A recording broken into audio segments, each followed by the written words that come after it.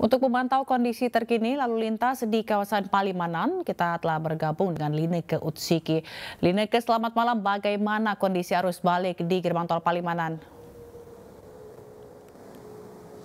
Ya Zila dan juga pemirsa, pantauan kami berkenaan dengan arus balik ini nampaknya semakin malam semakin ramai didominasi oleh kendaraan pribadi baik itu berasal dari Jakarta, Bandung maupun dari Bogor yang hendak melakukan perjalanan kembali ke daerah asal maupun daerah rantaunya. Dari pantauan kami berkenaan dengan peningkatan volume kendaraan ini sebenarnya sudah terjadi bahkan sebelum puncak arus balik.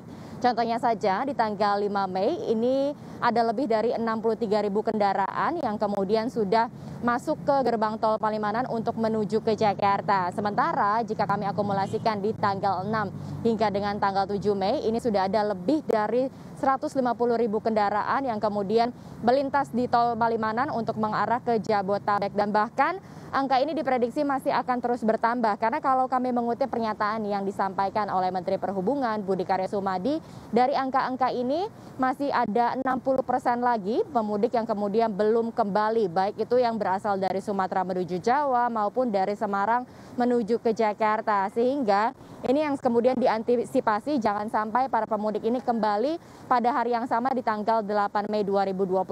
Oleh karenanya diimbau para pengendara yang belum kembali ini agar dapat menunda perjalanan jarak jauhnya agar dapat kembali ke daerah asal ataupun daerah rantaunya pada hari Senin tepatnya di tanggal 9 hingga hari Rabu pada tanggal 11 Mei 2022. Selain daripada seperti yang tadi jelas juga sudah sampaikan bahwa perpanjangan sistem satu arah ini masih terus diberlakukan di ruas tol Palimanan mulai dari tol Bawen kilometer 442 hingga dengan kilometer 3 gerbang tol Halim.